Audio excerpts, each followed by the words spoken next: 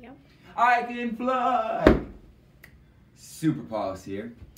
And we are getting close to the end of the school year. We're going to go take a look at the on target slips, uh, the Peace Days as well. But first, I would like to celebrate some classes.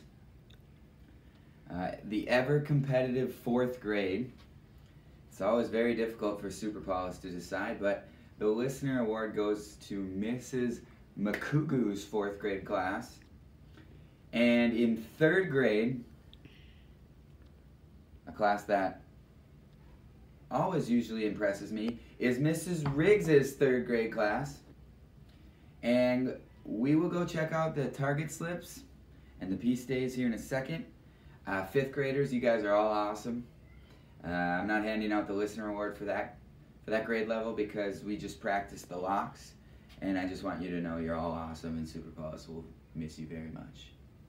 Super Paulus, we'll be back.